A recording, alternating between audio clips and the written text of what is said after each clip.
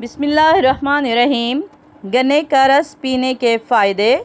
Number एक, यरकान के मरीज़ों के लिए नहायत मुफीद है। नंबर दो, दिलो दमाग, आँखों, गुर्दों, मैदे और जिनसी अज़ा को तकवीत देता है।